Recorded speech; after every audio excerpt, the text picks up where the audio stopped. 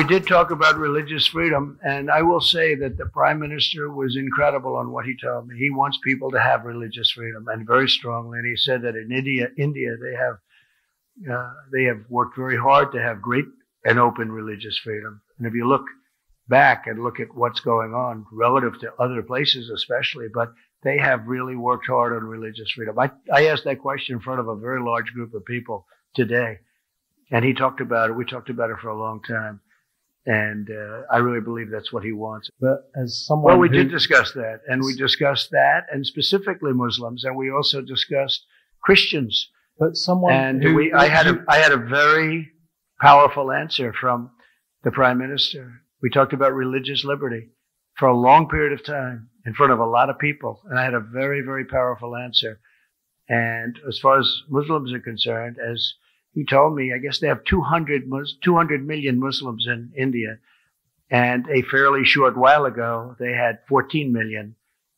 And he said that uh, they're very, working very closely with But- the but Muslim you- community. But so you yourself have been criticised for policies that have discriminated against Muslims, like the travel ban. There's also been a rise in hate Well, I over the I- last couple of years yeah, in the US. yeah. So are you in a position to talk to him about those subjects? Yeah, I won the travel ban, as you probably know. A lot of people said I lost it. No, I won the travel ban, and we use the travel ban where we think there's not based on religion, but where we think there's going to be trouble, where we're looking at certain countries. As you know, we added a few countries onto it, but we won the travel ban, and we won it in the Supreme Court.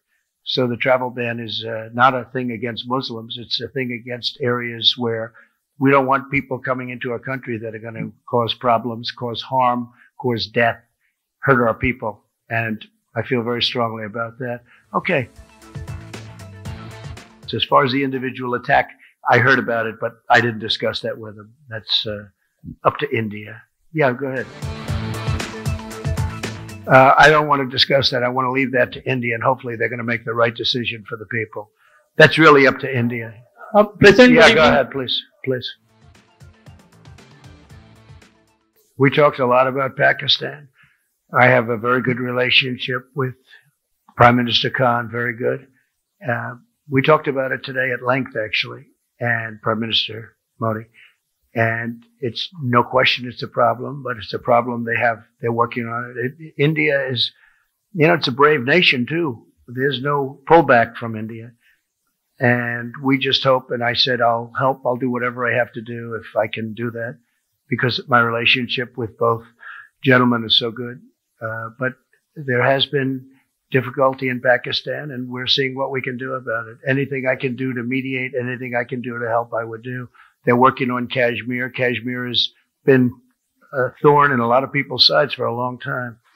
And there are two sides to every story but they've been working on that very hard. We discussed it at great length, terrorism.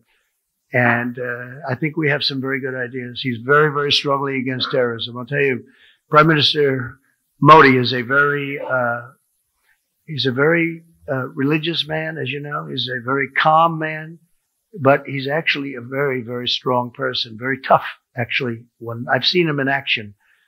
And uh, he's got that foremost in his mind, terrorism. He'll take care of it. I didn't say that. I didn't say anything about that. I just said Kashmir, obviously, there's a big problem between Pakistan and India. And I think they're going to work out their problem, but I will say they've been doing it for a long time. That, Okay, my question is something different at the moment. time.